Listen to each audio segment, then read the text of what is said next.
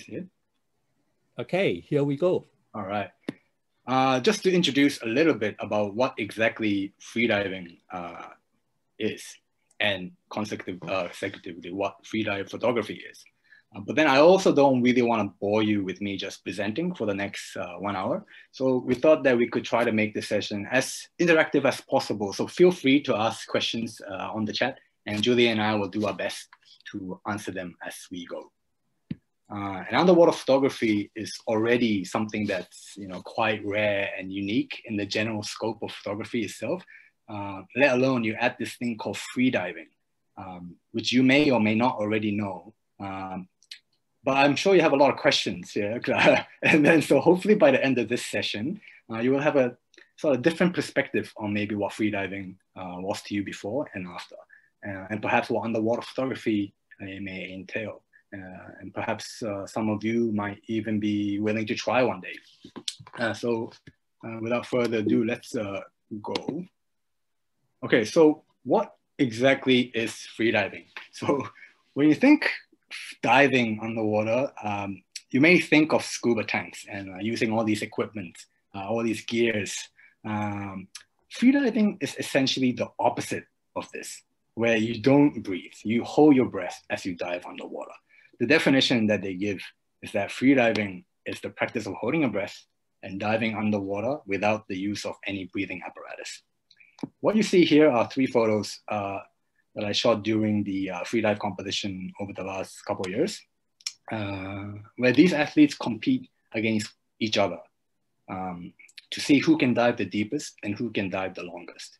Um, there are many different uh, sort of categories or disciplines in freediving competitions, uh, where one, you might be diving without fins, like you see on the first photo, uh, or second, you might be diving with by fins, uh, and thirdly, where you dive with something that looks like a dolphin tail. Um, in fact, I might just show you real quick, since you can see my video, right, still. So this, this is a freediving fin, a typical freediving uh, fin, which is made out of fiberglass, actually. You can get some in plastic as well, uh, which is more for basic uh, freediving uh, users. This fiberglass actually helps to, see how flexible it is? So when you kick with your fin like that, it helps to propel the water like that. Okay, if you can see, it's really powerful the propulsion that you get from kicking with these things underwater is really, really strong. Uh, this helps you get to places faster, but most importantly, it helps you to save energy. Um, I have another one here. this is called a monofin. So it looks like a dolphin tail. It's what you see on the third photo. This is um, for the discipline called constant weight dive, uh, where mostly the world records are usually set on these things because it's way more powerful than normal fins. Uh, it's made out of carbon fiber, or it could be made out of fiberglass as well. There are many different styles. Uh, and then there are other things like this, which is my tiny fin, which I use to uh, when I do photography because having a small short fin is quite quite important uh, for me when I don't want any of the fins to be my friend. Anyway, I think I went a bit off topic there, introducing my fins. Um, um, so you might be thinking, how deep do these people go? Yeah. So the world record today uh, is set by this Russian man called Alexei Molchanov, who is actually also the same person who designed these fins. This is his brand, actually. Um, his record is 130 meters using that dolphin fin. Um, so that is 130 meters going down and 130 meters coming up because you have to come back uh, to breathe, right? Um, in Singapore, the record is around 60 to 65 meters, I believe. And actually that photo on the, on the right that you see is, uh, is actually a Singaporean. He actually holds the national record uh, for the Singapore's deepest dive. My personal record so far is uh, around 50 meters. Um, it's uh, uh I mean, it's, it's not, it's, it's really not about depth, but, but anyway, I mean, so, so people go quite deep, basically, essentially. I'm not sure what deep is uh, for every one of you here, but 50 meters is, uh, you can imagine one whole length of a big pool. So it's quite deep going down and you have to come back up as well. So, so you might already be thinking, why, why would you Why would anyone do this? It's crazy, right? Um, this is something that uh, everybody initially thinks, even myself. If you simply look at freediving from the outside, like we did, it looks very scary. Uh, these are some of the words that uh, that pops up immediately. Things like scary, it's crazy, it's dangerous, uh, and it's a very extreme sport uh, for the adrenaline seekers. And you might even think, what's the whole point about holding your breath? It doesn't make, make no sense. Why would you risk it, right?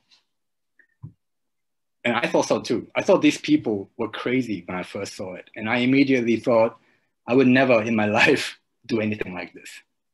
But now I'm doing it. uh, explain to you why. So despite what it looks, what many people don't see from the outside is that freediving is actually the polar opposite of being extreme or having adrenaline rush. Um, if you remember, or if you, if you can imagine, freediving is done on one single breath. And that means you need to maximize usage of that precious oxygen that you have. So being pumped with all this adrenaline and like excitement is actually very bad uh, for your dive because you will use up your oxygen uh, very quickly. so instead, uh, a freediver needs to be as relaxed and as calm as possible, um, not only in your body uh, physically, but also in your in your in your head mentally, because this is where most of the oxygen actually gets used up um, inside our brain. Um, and people, uh, you know, say that this sport um, is still reckless. Yeah, you shouldn't push your limits uh, like this and risk your lives. However, freediving is also about being aware of your limits. So, and being in uh, sort of control of your body, and not just your physical ability, but also in control of what's going on in your head psychologically. So I hope you see, it's just a very quick summary, uh, no, just a quick description of what freediving is uh, from what it looks to what it, uh, it is from the inside. Um, so yeah, so freediving looks very crazy, extreme from the outside, but from the inside, it's actually all about being relaxed and peaceful. And this is why uh, this sport often gets misunderstood. And, you know, it gets labeled as being extreme. And but in reality, it's actually more closer to being more like meditation than anything else. And I think we, uh, we showed a video just now before when we were waiting for uh, people to join. But this is a video that shows an example of my, my what free diving looks like. it's actually me diving at the competition back in 2017. I don't think it's the same video that Julian just showed earlier, but I think you will be able to see that it's it's all about staying relaxed and calm, but also at the same time being focused and uh, being aware of uh, being aware of what's going on and in control. So I'm going to play this now just to let you guys see what it's like.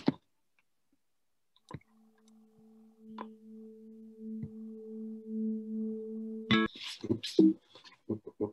Sorry, something happened there. I want to play that again. Sorry about that. Miss that.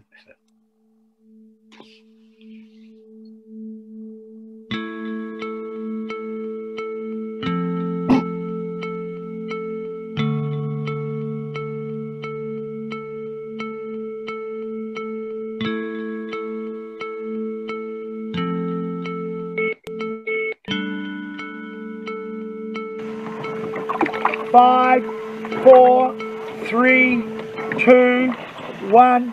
Fish at top. One, two, three, four, five, six, seven, eight, nine, ten.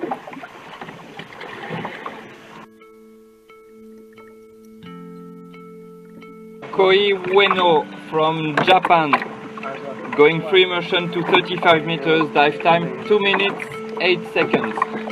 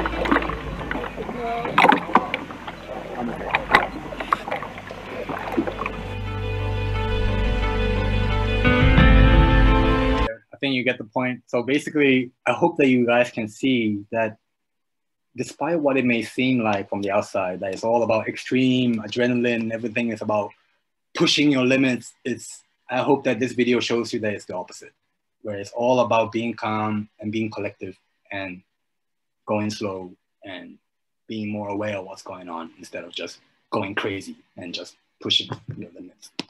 Uh, this is a very famous uh, uh, freediver called Natalia Molchanov. She's actually the world champion um, uh, when she was 60 something years old. It's interesting because it's almost as if the older you get, the better freediver you become. And we will talk about more about this later. But she basically says that freediving is all about the euphoria that comes from this weightlessness. So it's all about seeing how beautiful the underwater world is, but it's also the joy of understanding uh, yourself and your thoughts and experiences at a deeper level. And and you might be thinking, okay, this is very poetic, yeah, it's very, but it's really something like this. This is also another quote from her. She says that freediving gives you an unforgettable experience. It's not just a trip to the underwater world, but also a journey into yourself and a way to learn and self-develop. It's not just a sport, it's a way to understand who you are. Um, I really love this quote because it, it really is, uh, for me, a journey of understanding yourself and being aware of the situation that you are in. Because by doing so, by knowing what's happening in the present moment, you learn to know exactly what you need to do at that specific moment. So, so I feel like this is the kind of the key to improving almost anything in this world, which is why I think freediving is such a good tool to help so many people out there to kind of better yourself in anything that you can think of doing. And this includes photographers because it forces you to be sort of in that present moment and think of um, it forces you to be in that present moment. I think that's what's most uh, it's one of the more important thing as a photographer to be able to do. I think it's a good it's a good skill to have to be able to be present in the moment, to know what you're capturing in order to to establish the photo that you're looking to get, um, which I think we can speak more about uh, later. But at this point, I think you might be thinking, so you know, is freediving just about being zen and uh, meditating and just, you know, is that the only reason why freedive? What I love about this sport is that there are many, many different reasons why people freedive, um, or more exactly why people may hold their breath underwater. For example, here is a, a bunch of pictures of recreational freediving. Yeah? It's also known as snorkeling, uh, which is something that uh, I believe many of you have already tried once, uh, twice before.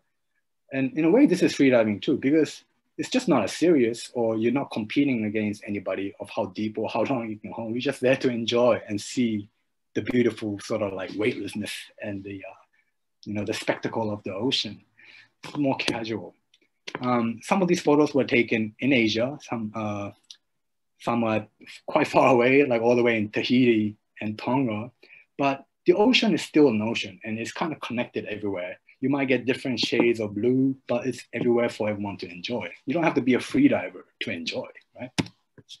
Some people free dive for, uh, for food. You see, some people free dive for food, like you see in these photos where you know, there are spear fishermen or traditional fishers from villages who dive to collect their food for their family. Some people may be fishing like this with a spear for fun as a hobby this uh, it's actually a sport in itself. So there's, there's that as well. And then there are some people who freedive just to look pretty, or like who like to dress up as a mermaid and uh, whip the tail around and sort of realize their childhood dream or whatever it is, and um, or just being an underwater model and just feeling good at it. Um, and then there are also cases where a lot of the freedivers who join freediving because they simply love how it feels and they dive to constantly try to attain this state of bliss or their form of meditation or um, to realize other health benefits, uh, which we can also talk about uh, later. Um, and then some free, uh, people freedive in order to challenge themselves, like you see in these photos. This is all a competitive free freediving where you see how far you can go, you pursue the goals that you set, and you achieve it. So it's a very goal-oriented, motivated, sporty sort of, uh, uh, you know, people who want to realize their competitive aspirations. And, and I guess for someone like me, I mean, I do all of the above. I do all of the above. I compete. I do it because it feels good. I do it because I love being in the ocean and feeling nice and meditative and all. But I also free dive specifically to take photos. And uh, this is uh, something that I thought we could share more about in this in this uh, session. There's actually a very valid reason why I choose to freedive to take my photos. Um, so let's sort of go and move on um, and explain why on earth do I freedive to take photos? And why don't I just use a scuba tank? Um, many people ask me this question, like why do you hold your breath to dive for just two minutes, one or two minutes, when you can just get a scuba tank and dive for one hour? It's a very valid question, but and sometimes it makes a lot of sense to use scuba tanks, um, depending on what you're shooting. But then there's a very big difference to scuba diving and free diving. And let's take a look, uh, closer look at that. The photo on the left, you see you have all bunch of gears, a typical equipment that you use for scuba diving. You got your regulator, you know, to breathe the air coming from the tank. Uh, you got your buoyancy compensator or the BCD, which is something you use to inflate or deflate to go up and down. There's a computer for you to see how deep you are, how much time you have left on your tank.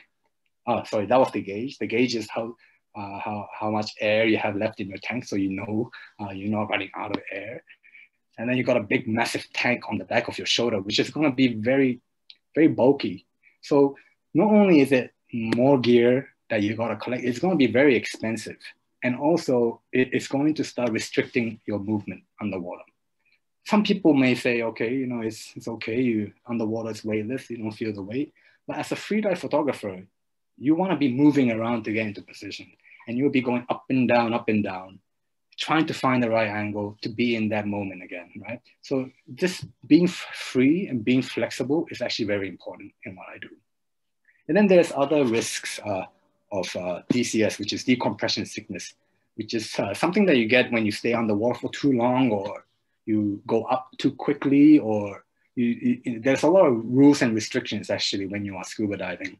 Um, and and the fact that you are 100% reliant on your equipment. Like there are equipment failures all the time, but in freediving, the only equipment you have to worry about is yourself. So there is no way that an equipment will fail out of, out of your control. So in a way, I feel that freediving is much, much more controlled and safe uh, as long as you are, you are responsible for understanding what is happening as your body as the equipment. so in terms of safety, I'm gonna dive into this uh, illustration that shows what happens when uh, to your lungs when you dive underwater. So imagine your lung is this red balloon. Don't, don't worry about all the gray shaded area, just the balloon is your lung. So on the surface of the water, the lung is at its normal size. When you dive 10 meters, the atmospheric pressure, there's a pressure in the water which starts to crush on your lungs. And that pressure is double the amount it is on the surface. So what happens is that when you go 10 meters, your lungs becomes half the size. If you go 20 meters, your lungs becomes one third of the size. So as you go down, the deeper you go, the smaller your lungs become. You get compressed because of the pressure. And as you come up, the opposite happens when your lung starts to expand.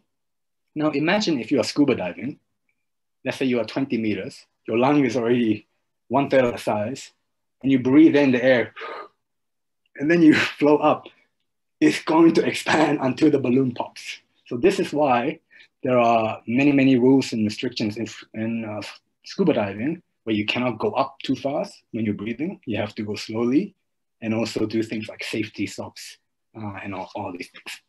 With freediving, you're not breathing in any air, only the one you bring from the top. So you can go as quickly as, uh, as fast as you want, go up as fast as you want. There's nothing to worry about. Again, more control. Um, so, so yeah, so this is why it's actually more dangerous to be, I, I feel that, uh, to be on a scuba. Um, and then there's other things you got to worry about, like nitrogen buildup, uh, because you stay down for so long that you get you get a buildup of nitrogen that you got to expel out, and all these kind of things. Freediving really has none of that. You don't have to even think about it. it it's not even uh, used up in any of your brain spaces. So it's much, much more sort of like, um, I would say clear. Because when I was scuba diving, I mean, I've been scuba diving since I was about 13 years old. And And until I started freediving, I was always scared about the water, to be honest. I also had my fear. Like, what if my tank malfunctions and I have to go up and I can't? Or, uh, you know, all these fears starts to get into your mind. And I was like that. Um, and scuba diving does that too. And I was I will usually come up from the surface with very little oxygen uh, left in my tank because I'm hyperventilating and I'm breathing heavy and then I, after I took I took a freediving course, that's when I start to realize, like, it's about overcoming these kind of fears, and it starts getting better. But we can talk again about this more later. Yeah. Okay, so here's another video of a, a freedive competition where I'm actually taking photos of the athletes. So I'm also freediving without scuba tanks uh, and taking photos. And this is just so that you can get an idea uh, of what it's like. Um, I might just play and kind of talk as I, as I go.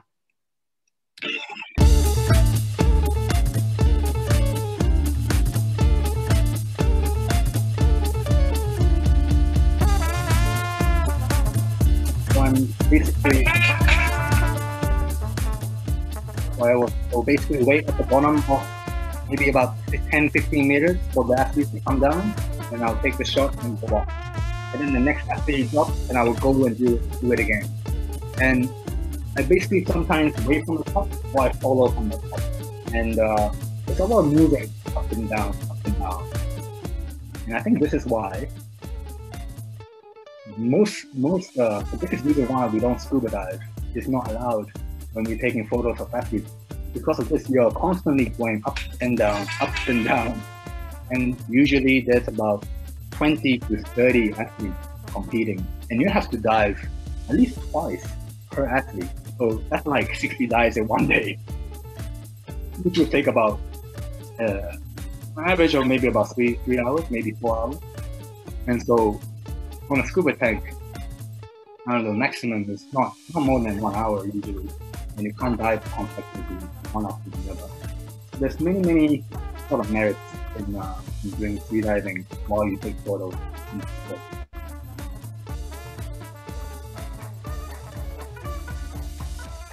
I just watch this video. Not sure why they chose this music to be honest.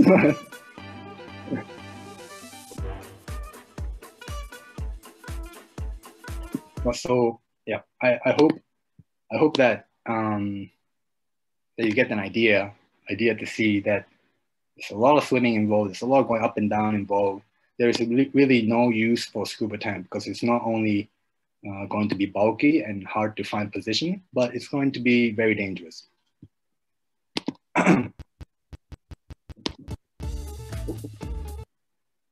and then there's uh, another big difference uh, between scuba diving and freediving. And and although they're both about being underwater, they're completely different in terms of how you enjoy it. Uh, there's a famous quote from Umberto Pelizzari, who's a, a, big grandmaster of freediving. He, he says, scuba divers dive to look around where freedivers dive to look inside or look within. Um, and I think this is why freediving is often related or associated with yoga and meditation, because it is this similar practice of internal awareness. Uh, it is this practice of looking inside, uh, which I believe is what many people are drawn to in this sport of freediving to begin with. Um, but again, people dive for all sorts of different reasons. Uh, and for me, uh, it's not just one, it's several mixed into one. Um, I love um, uh, I love this whole Zen aspect and the spiritual elements of freediving, uh, but I also enjoy the competitive aspect of freediving where you challenge yourself and you push to, to sort of improve yourself bit by bit while understanding what's happening to attain a certain goal. Um, I also love the fact that this sport is uh, forces you to be sort of healthy and eat well because um, or sometimes never eat at all. Uh, so it would be good for people who want to lose weight actually, because if you're in the ocean with a full stomach, it gets very uncomfortable because of the pressure. So a lot, and, and plus if you're eating before a dive, your body starts to digest while you're diving, and that's going to use up a lot of oxygen. Again, diving, free diving is all about conserving as much oxygen as possible, um, and you don't want to do anything that increases that activity. Um, but of course, if you want to do like macro photography or underwater shots, then it's uh, underwater shots of small little things that you have to position yourself or fix the camera onto something, then of course it makes sense to be scuba diving. So I'm not, I'm not dissing scuba diving photography at all. I'm just saying that for the thing that I do as a freedive photographer and a sports photographer, it just makes no sense to be using a scuba dive. Um, and it's actually a lot more efficient, it's cheap, it's cost effective and it's safe. This is one of my, the biggest reason why. Um, and however, there's also one very important reason uh, why I choose to freedive uh, when I take photos. And that is because, because you're not breathing in air, there's no bubbles, there are no noises from the bulky gear behind you.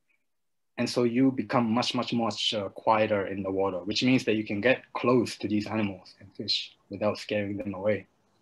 So when swimming with whales, for instance, it's actually illegal to be scuba diving because you're, the bubbles that's uh, coming out gets, gets to them and uh, sometimes they feel threatened. And so it's, it's usually not even allowed.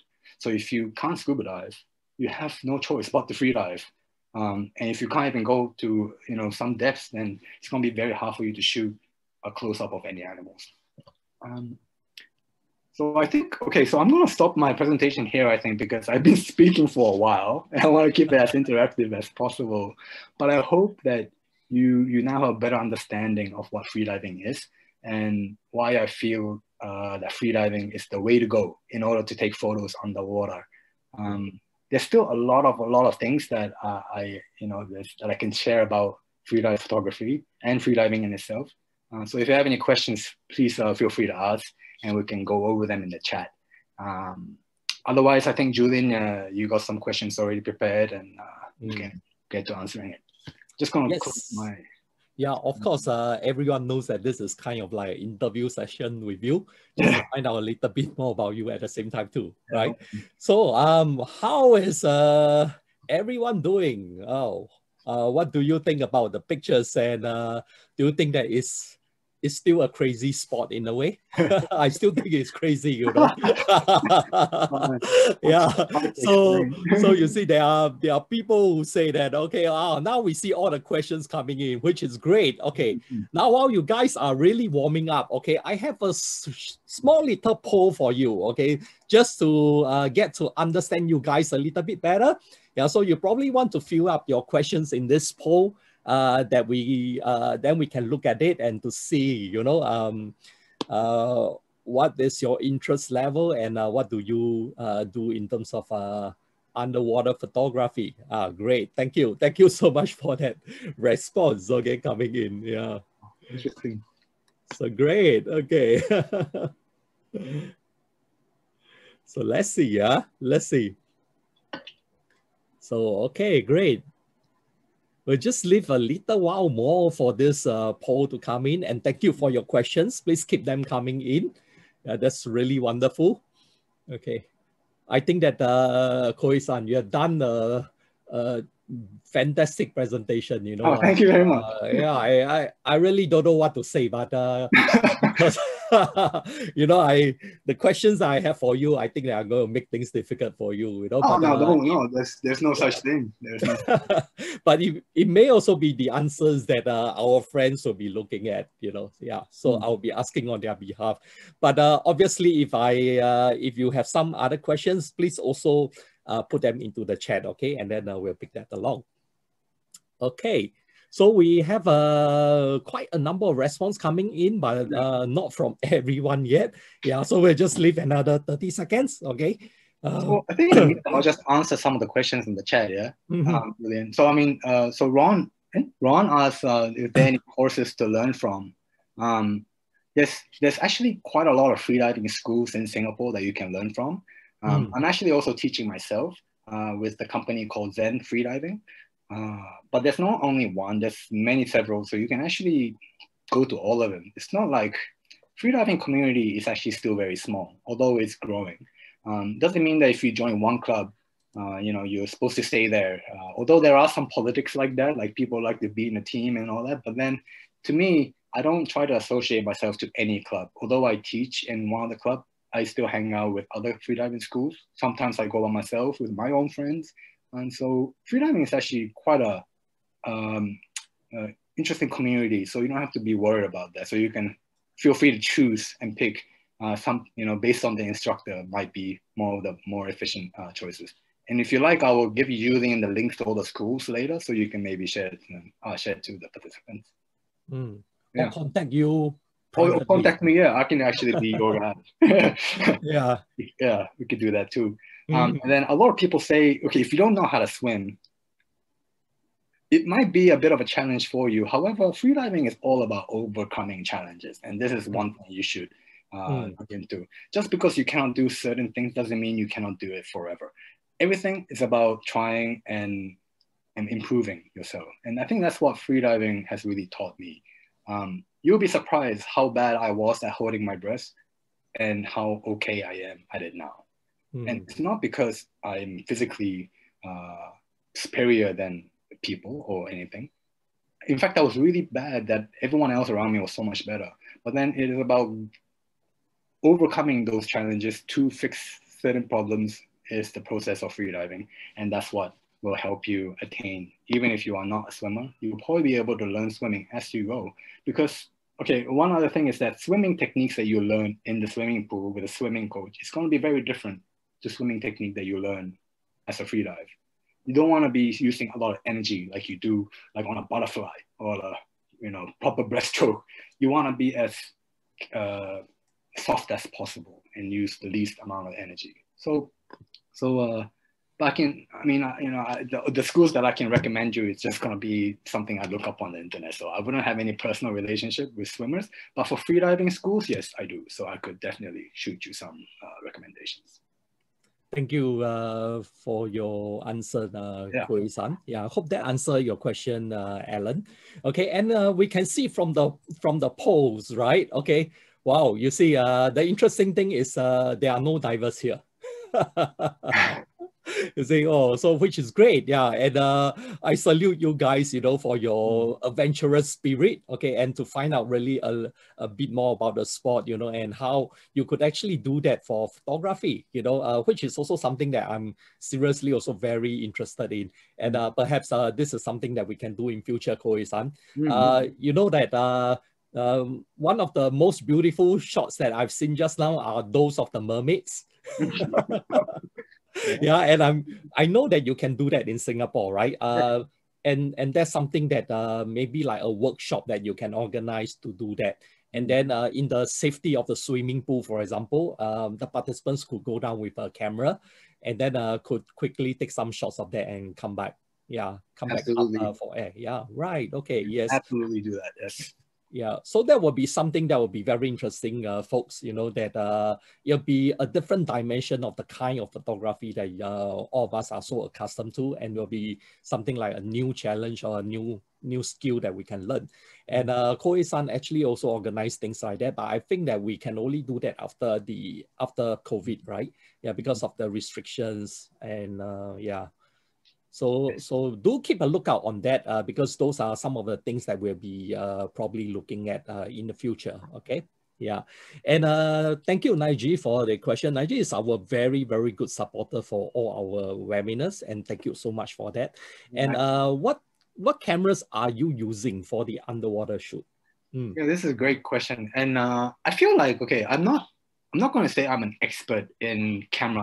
I, I haven't used all the cameras out there, so I cannot speak for everybody's behalf. But I've been only predominantly using a Sony since the very beginning.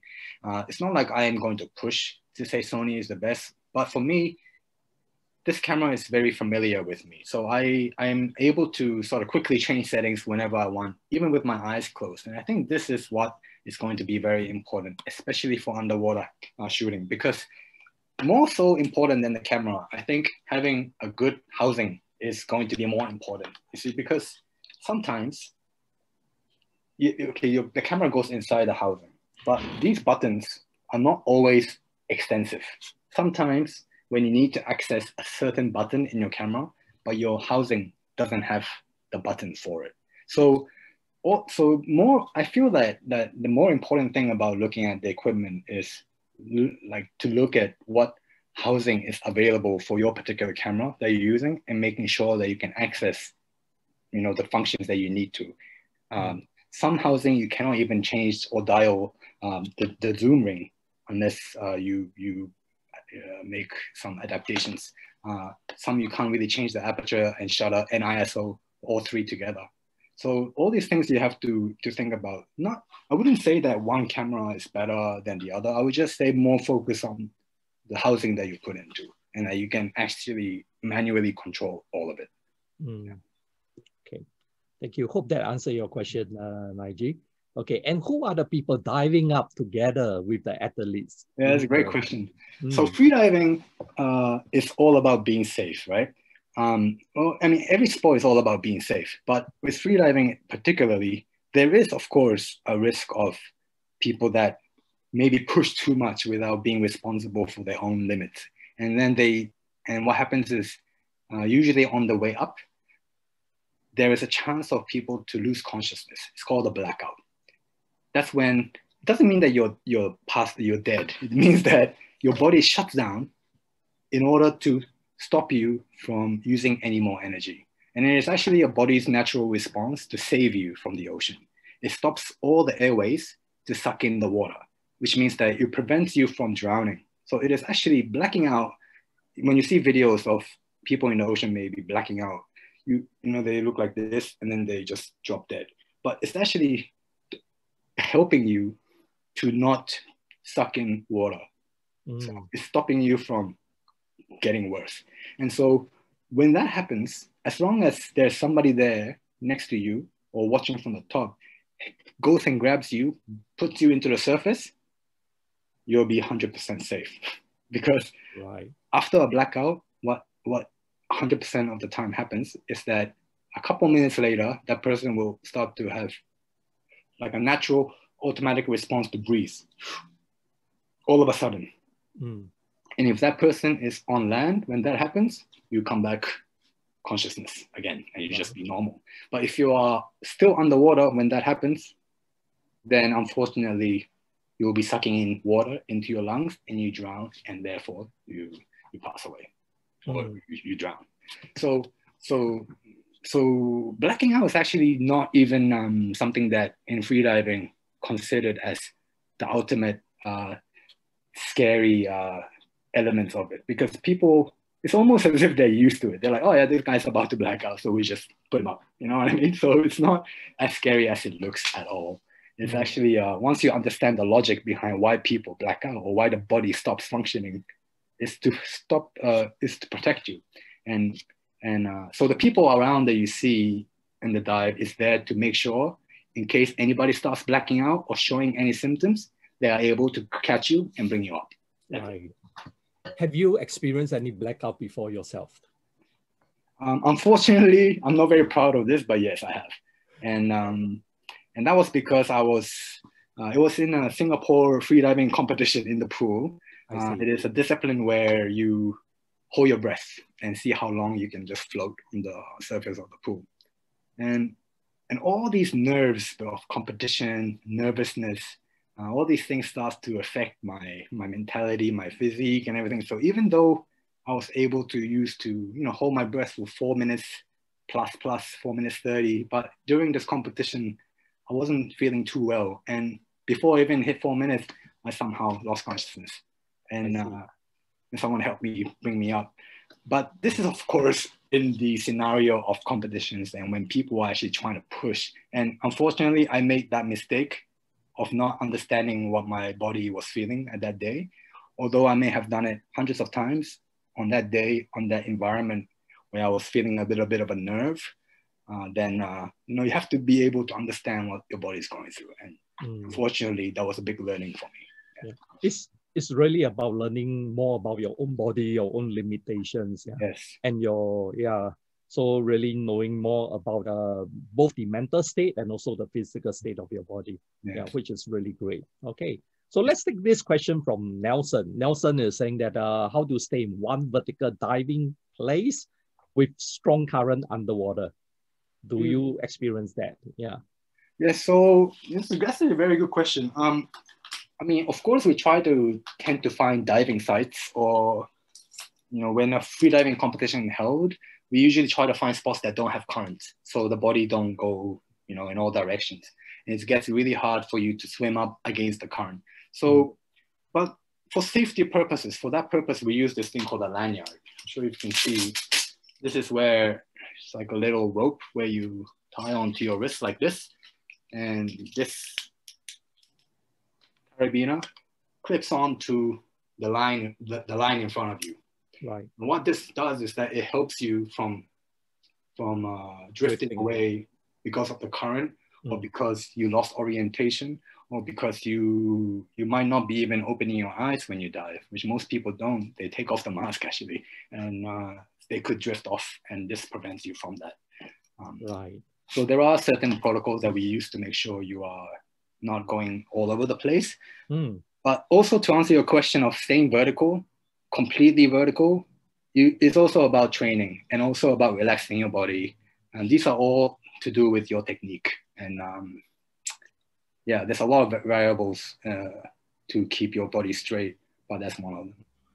Right. Yeah. Mm thank you for sharing so much already about free diving. You know, oh, but, uh, you you know something, Kohei-san. Uh, you see, you you have been speaking for the last 15 minutes, but uh, I think people still know very little about you.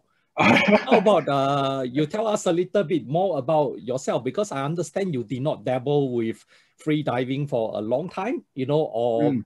even photography for a long time you know, but you are already a successful photographer in that sense. Okay. Mm-hmm. So what were you doing before you actually found these two passions?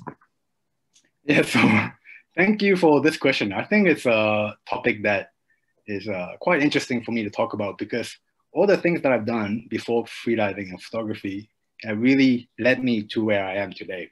Okay. Um, and every little phase of my life really had to let, led me to something, and that something led to another. Uh, it sounds very obvious, but mm-hmm. I realized that if I didn't go through those experiences, I would have probably never been in this field. Right. So I'm going to try to share back my screen if that's okay.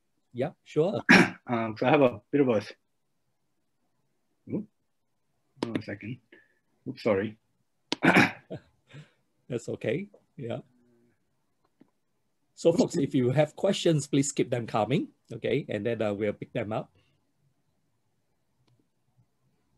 Okay, so, oops, that's not it. Here it is. This is ah, a here we go. so, so, so, so really quickly, I was born in Tokyo. Now you, you know my age. I was raised in Hokkaido. And when I was about six years old, my dad decided to move to Singapore. So our whole family migrated over in the 90s. Um, so I was very young.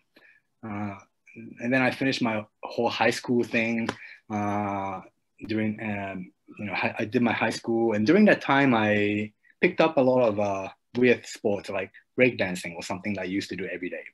And ultimately, this became my first ever job uh, as a, as a part-time job uh, where I was teaching breakdancing uh, as part-time after school.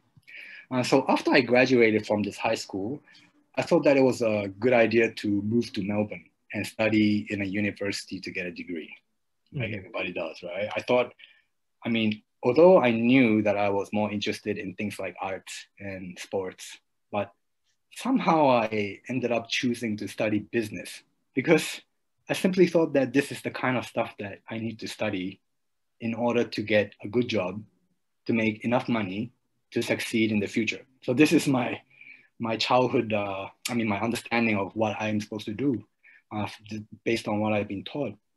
And so that was the, that was the beginning of my first mistake or my first realization, I would say, because after I graduated for, with my degree in Melbourne, I couldn't even find one job. So my learning from this is that if I can't even find a job with a degree, then I should have just studied something that I enjoyed like something like creative or in the arts field or something sporty related.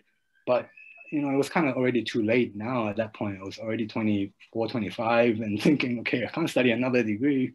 So while I was struggling to find uh, this job after uni, I saw an advertisement in my school campus looking for a Japanese soldier to act as a movie extra. it was for a big Hollywood movie uh, called The Pacific, uh, directed by Steven Spielberg. So I was like, oh. no, no, sorry, Tom Hanks was the Hanks, director. I was like, okay, why not? You know, since I can't find a job in my field, I uh, might as well just do this for now. And so I went to the audition and got this job. So the for the next 10 months, I was actually basically working as a movie extra. Right. And then in a movie set, usually there's a lot of waiting time. Some days you are called in to the set, but you are not used for the whole day. So you just wait, sit around for your turn or whatever. And so me and my friend decided, um, why don't we just kill this time? Because it's so boring to sit there with your clothes on, uh, with all your uniforms. Well, let's just start practicing breakdancing since we are, you know, just, just for fun. And so we did that to kill time. Then a few days later, the directors came to us and said, hey, we've seen you dancing. Uh, we think maybe we can use you um, instead of hiring some expensive American stuntman from overseas. We can just pay you a little bit of sum and we train you up to be a bit of stuntman to do minor roles. And so we're like, the pay was decent. And I was like, why not? You know, we got nothing to lose. So, uh, so so I did that and I got trained to be a stuntman for a while. And then even after this film was done, I was still considering to pursue this as my main uh, thing for the couple of, for the first couple of years. Mm-hmm. Um, but of course, you know, you start to think, okay, I cannot be a stuntman forever. Uh, you know, it's not sustainable. Uh, you know, it's also dangerous. Uh, and all my friends, all my childhood friends were getting proper jobs and going to places and all this stuff. So I was thinking, okay, I need to do something proper, yeah? get back into my reality, or whatever that was. So I applied for all the big companies. No one re- replied except for one. And that happened to be Google, which is known to be the world's number one place to work at. I was like, why not? but anyway, so so and they were only interested in me for this interview because I put in my resume World War II Japanese soldier acting as a stuntman. Like, they were like, who is this guy? so just because of that, I was asked to come in to speak and talk. And after several interviews, I managed to get the job at the best company in the world. Wow. Okay. So this, hmm. And then I was like, oh, wow, this is amazing. You know, my life is complete. Like, you know, I was like, everything was so good. Um, and although it was my first corporate job, I thought that I'm happy to be here forever. Mm-hmm. And, you know, everything was good, the perks were, were good, and the job wasn't too difficult. And I felt like I was living this dream. But then after three years or so, you start having this next realization. Um, you know, when I'm supposed to be very happy uh, working for the good company and all that, but my life wasn't was super comfortable. It wasn't there was something missing, and I was like, what is this? Like, I'm not supposed to feel this way. Like, you know, uh, I'm not supposed to look for more when I already have a lot. Mm-hmm. So, and, and I realized that I was almost feeling very scared because things were too comfortable or too mundane or something. And uh, there, there has to be more to life than Google. And, and I just thought, okay, like if I didn't get into Google and I work my way up the career ladder or something in hopes to get to Google in the future, and if this happened to me at that time when I'm, let's say, 50, 60 years old, years old then what a waste of my time. so I start uh, thinking, oh, uh, maybe this is a blessing in disguise. Maybe if I'm not happy to be in Google, which is supposed to be the best place to work at, then I better get out. And I thought I need to do something. So, mm-hmm. So I made that decision on the fourth year to quit everything, sold all my stuff, and uh, packed my bag into the 40 liter backpack to travel the world. And that's when I bought my first uh, camera, which was the A5000 uh, okay. entry level uh, mirrorless camera from Sony. Uh, right, I see. So yeah. that was how you got started with your photographic journey, actually. Well, yeah. So, ah. well, yeah, photographic journey. Um, I had no idea of shutter speed, ISO, aperture. I was just le- learning on the go while I traveled to all these beautiful places and taking yeah. photos. Mm. And um, I mean, yeah, I'm sorry to take so long to explain the story, but but because I had this opportunity to kind of just restart and refresh. I mean, I was already 28, 29 years old, yeah. quitting everything and going on this like self road, road to self discovery sort of journey, like yeah. a lot of people think uh, you know it's about. And it really was because it was very eye opening, and I, mm. I, I, re- I, learned so many new things that that uh, I never used to think about. Think right. about what. I eat, what I consume, how I think, how I treat my body, and all these kind of stuff, which started to to naturally lead me to this sport of freediving because it's mm. all about that actually.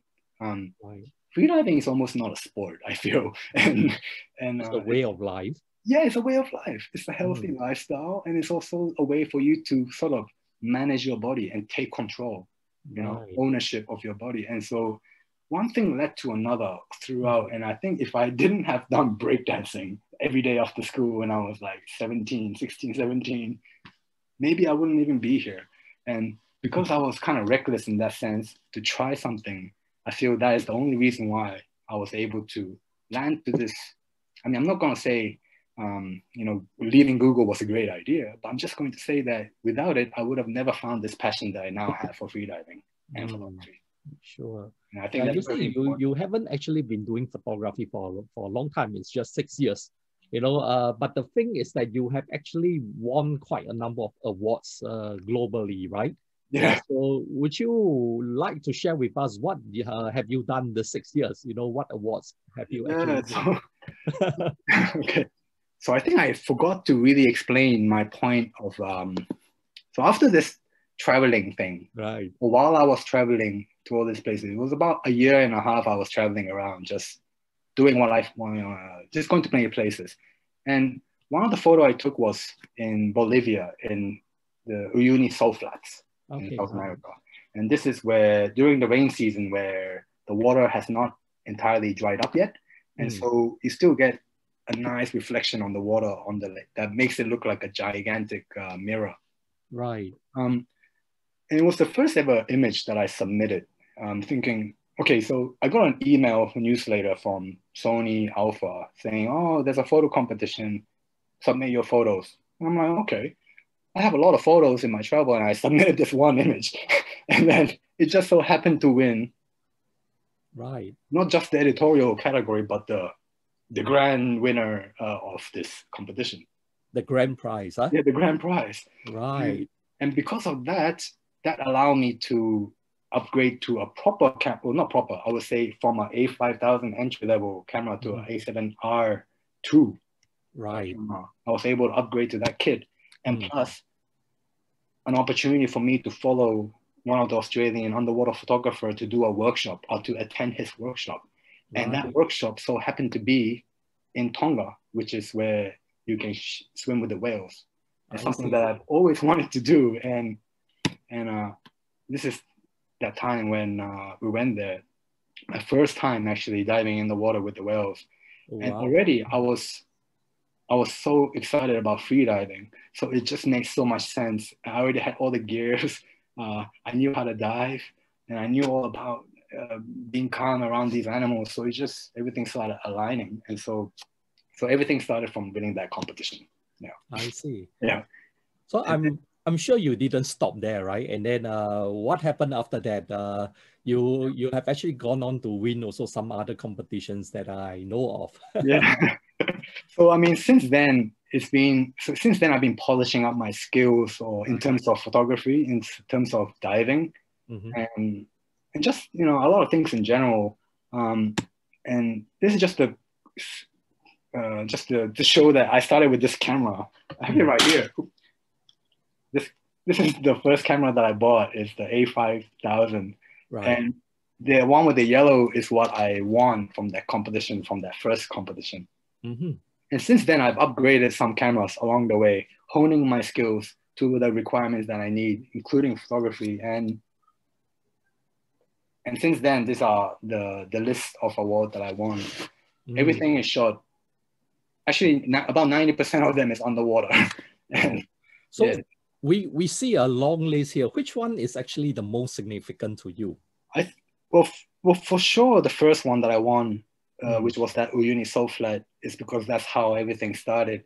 Um, but the second most important one I feel is this uh, one from Sony, where I came second place at the Sony World Photography Awards. Mm, Um, right. I think that photo, yeah, it's this one. So here is the photos. So it's like a series of photos. It's all about freediving, and okay. and I wanted to show to the judges that this is not what it seems, like how I explained. Wonderful. Yeah. Um, So folks, here we go. You know, this is basically how you combine your two passions together and then uh, to get the shot and uh, you join a competition and you win that. So this is really amazing because I think uh, one reason is because these are also not the usual set of photos that you will see in a competition. You know, it's kind of like uh, quite rare to see and uh, that that obviously has also put it in a very very good position you know to to win that as a very strong contender. Mm. so yeah we could see that. Oh great. Okay. So now let's move on a little bit more about on photography okay? And uh the thing is that um okay we were talking about you conducting tours to australia actually before covid-19 right mhm, mhm. yeah, so you're thinking of leading groups there uh, to learn free diving and also obviously to uh, take some shots underwater and and also on the land like the resort there are some shots that you can do. So um, will you be looking at that again uh, post COVID, okay, or any other destination uh, that you're looking at once it's actually safe to travel again? Yes, for sure. So this is something that I'm definitely. I was I was actually scheduled yeah, with you, Julian, to Yes. to to run this workshop to the Great Barrier Reef. Just to show a bit of example what you can expect there is Mm. a bunch of turtles. Perfect for learning freediving as well because the water is very mild. It's not very deep, crystal clear water, and you Mm. got a beautiful place to stay. And so I thought it was a perfect opportunity for people to learn, like how I learned uh, when I started freediving and photography. Right. Hmm. And there's a, a very famous uh, place for all the mantas to come uh, to clean their body in this coral. So Mhm. it's called a coral cleaning station where the mantas gather and all the small little fishes come and clean its body. And so you Mhm. have a an opportunity to take amazing uh, creatures like that. Yeah. Yeah, when you see them in front of you, it's a, it's a, it's a game changing sort of experience, I think. Nice. Yeah. Hopefully we can get to travel to Australia very soon. Yeah. I mean, I Yeah. mean, there are so many other places that uh, you know around our in Singapore is very accessible too. Uh, Mm. Some can be as close as Malaysia. Some can be a little bit further out near Wow. Bali, Mm. which I can kind of show you some photos. This is although this is a free diving photo, um, but there's a lot of free divers in Bali, and you can find them uh, everywhere. But then Right. this let me just yeah this is raja ampat as well it's more for shallower water more for corals a little bit more for a holiday destination like kind of place Mhm. and it's a place where yeah a lot of a lot of photos like this kind of holiday esque uh, photos can be taken i believe yeah, really nice. diverse. It's always just about being in the blue. Usually there's not much background. It's just the athlete or the animal. So Right. going to shallower water like this, um, where you can see vegetations, a lot more like coral fishes, is Mhm. uh, it, it, uh, can add to uh, an interesting, interesting photo. Right. Oh, great. Yes. You So can- a lot of uh, opportunities. In fact, you can just uh, be scuba diving and then uh, doing the correct technique for breathing, for example, and then you can be a free diver, right? Yes, well, I mean, there's quite a bit difference again from scuba diving to free diving. But yes, I mean, as long as you are able to compose yourself Right. and um, take responsibility for your own body, then there's nothing can go wrong. I think. Mm, Mm. okay. So uh yeah, when we talk about breeding, uh Kohei-san, you know, I was thinking of this. Uh maybe we can get everyone to to participate in free diving safely. What do you think? You know, uh I have this idea. Uh because I understand that we can we can technically practice free diving while on land, right? Like where we are sitting now without uh actually getting into the water. Do you know that, uh, guys, we can actually do that? So like- maybe, maybe, uh, Kohei-san, would you like to share your secret on this? You know, of how to hold your breath or how to, uh, maybe improve your your breathing a little bit, holding your breath a little bit, uh, so that we can practice that on land. Okay, and maybe everyone can do this together uh, while we are on this session. Okay, and uh, try and see how long you can hold your breath. Okay, but Okay. before that, before that, yeah, we need to master the technique from you.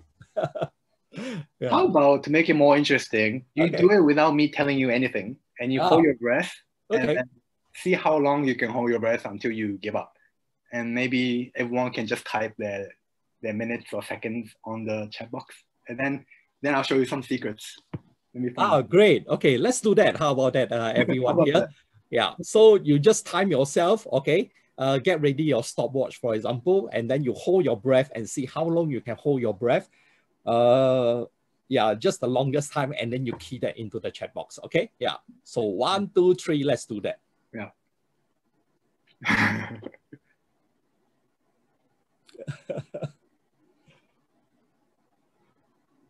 We'll wait and see some response. we'll wait. We wait for for people to hold their Yeah. breath. So meanwhile, meanwhile, let's just uh, discuss a little bit more. What are your plans for the future? Actually. Well, well, see, eh, I mean, I'm still, I guess, you know, after learning freediving and doing photography, um, I'm quite, I'm quite satisfied to just continue doing what I do because this is what I enjoy, and so I'm willing to spend the rest of my my working career to utilize this as my main activity. So Right. and it will be grateful if people who who are there who are interested in this similar life or want to learn will be able to uh, to utilize my service. But if not, Mm. I mean, my plan for the future is really simple. So freediving life is very simple. You just want to be healthy, eat well, and do things that you enjoy, and not to, and you know, to respect your body and just kind of like be okay with it. So Yeah. just Like- got one second. I mean, sixty-five seconds from now. 65 seconds. That was a well done. okay. Any other contenders? 65 seconds is the holding record for now. It's pretty good. Yeah. When I first Oh. started freediving, or my when I took my first ever freedive course, I was doing one minute, 60 seconds of breath hold. That was my maximum. Mm, 60 seconds, I see. Yeah. I think I think people are still holding their breath. Yes. Oh, wonderful. Ming uh, has managed 75 seconds. Wow.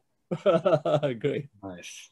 I think I can only do 15 seconds of what Ming uh, did for 75 seconds. I'm pretty sure you can do a bit more. And I'm sure after I teach you this specific thing that you can do, I'm pretty sure that everyone will be able to increase it. Yeah, let's see. Let's see. We wait for the rest, okay? Yeah. Okay.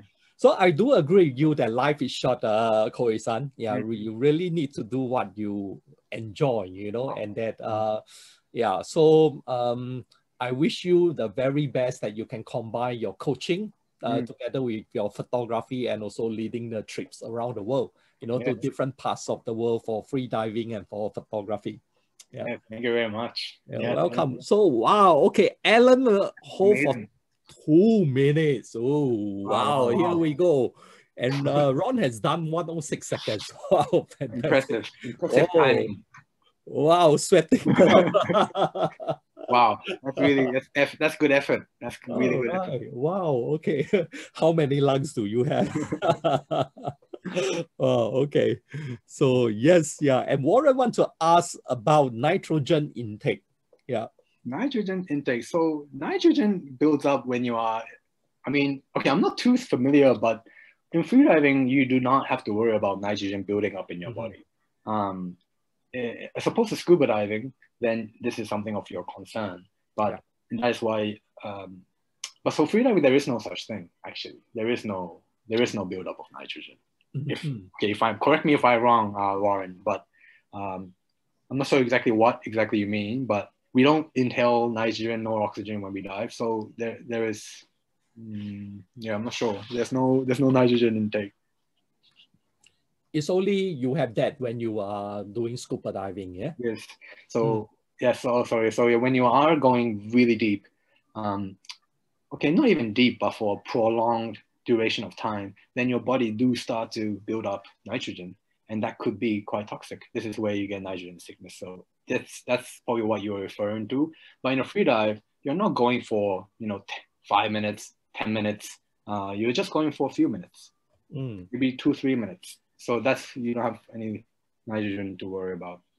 Oh, okay. So so you're talking about surfacing fast. Okay, so this is something I uh, kind of touched on before, but if you remember the balloon uh, illustration, when you go up and down, when you go down the uh, the ocean, your lungs gets compressed and get smaller and smaller, and as you come up, it gets larger and larger.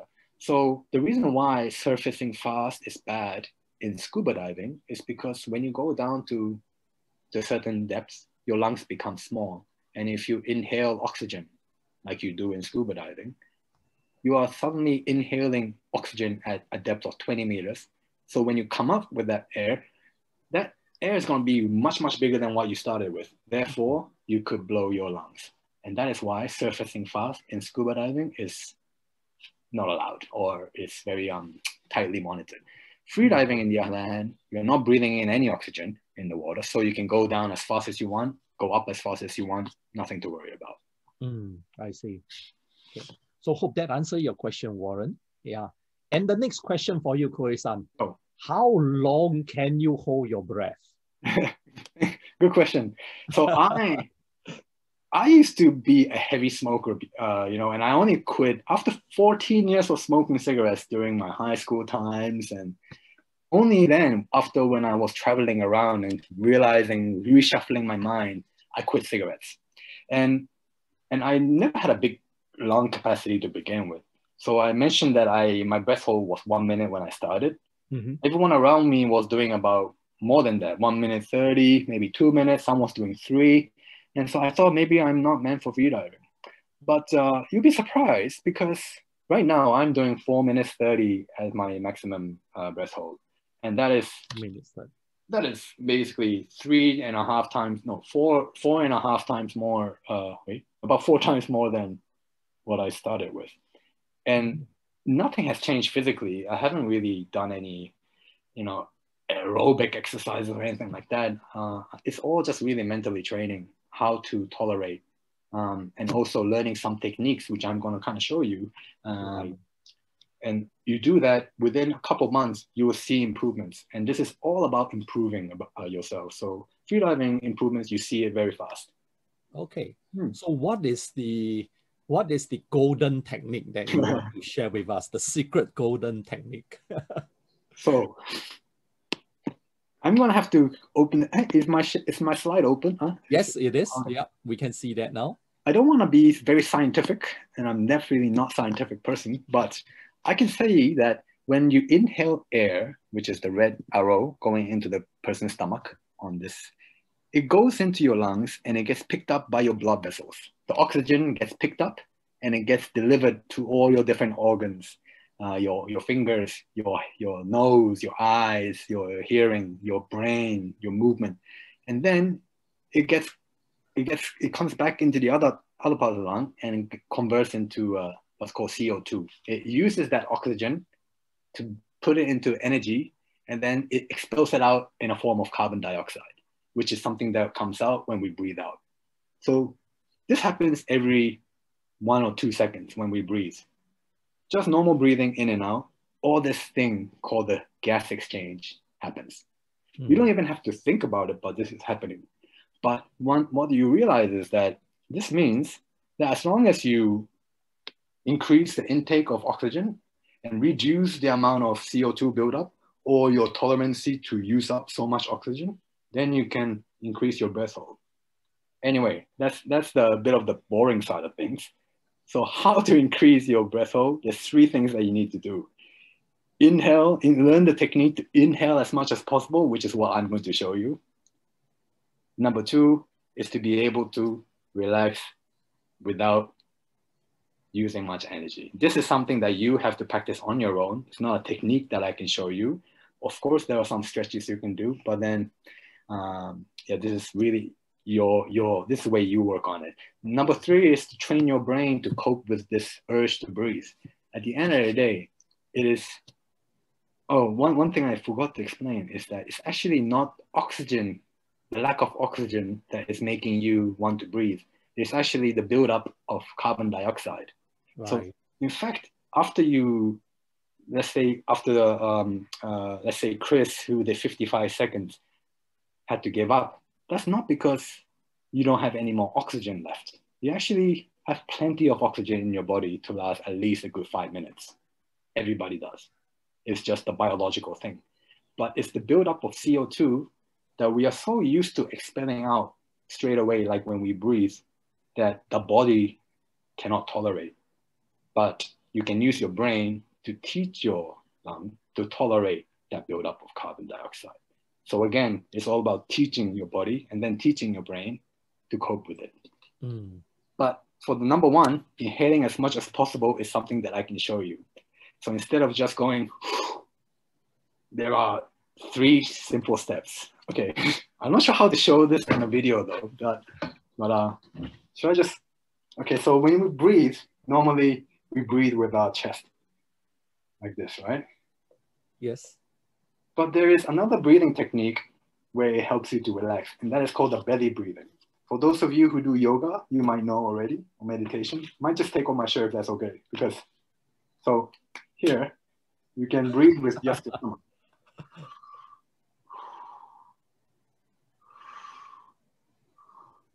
This is called belly breathing, okay? So instead of going and then just fill up your body, you, you, you first step is to breathe from your stomach and then breathe on your chest. And then lastly, you breathe into your into your throat. So there's three little compartments, if you like, to put your breath in. So again, I'm gonna do it again. Right. So I expel out all the air. Breathe from your stomach. Breathe from your chest. And then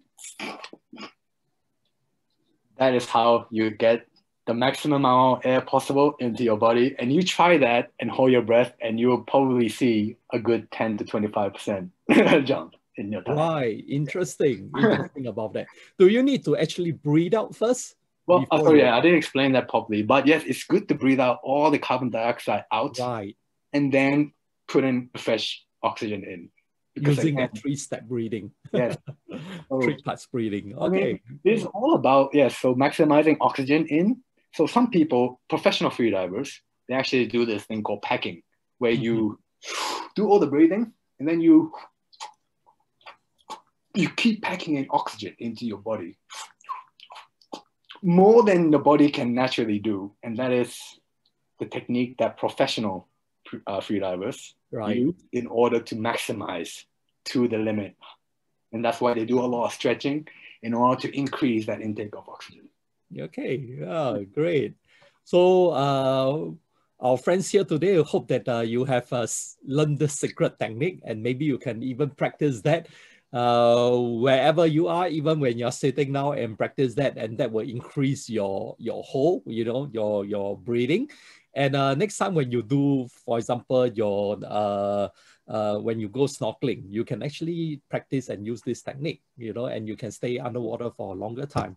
And obviously also um, joining Kohei, uh, Kohei-san on uh, some of the trips or maybe even the training and also look out for the workshops that we'll probably do uh, in time after COVID once uh, things uh, really open up um, a bit here in Singapore.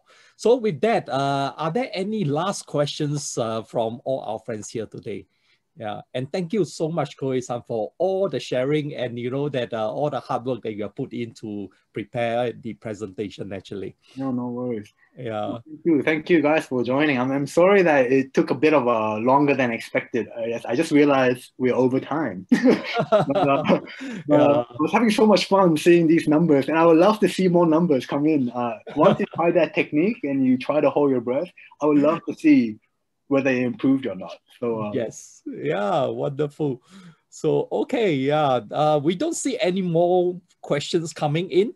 So I think that uh, we should uh, call this uh, yeah, we should uh, call an end to this session today. And we really appreciate uh, that you join us here today. Thank you for sharing your weekend with us. Mm. And uh, with that, we, we would like to wish you a very, very good uh, week ahead. Okay. Yeah. And uh, stay safe and see you again in the very, very near future. Thank you. Bye bye. thank you, thank you guys. If you have any questions, feel free to question, uh, message me, find me on my Instagram or find me on my website, or just Mhm. yeah, just get in contact. Um, I would love to share more, and there's a lot to share. And uh, even if you like to come and join me in my pool sometime, I could do some uh, some quick crash freediving courses as well. Yeah. Yeah, Please get in touch with Kohei san. I'm sure it's very easy. to find him on the internet. Yeah. I mean, I'm not really out there, out there online, but then once you get to know me, I'm very easy easygoing. So you Mm. you'll be able to find me easily then. Yeah. Okay. Yeah. Thank you, guys. Yeah. Thank you, as CEO. Yeah. Thanks, guys.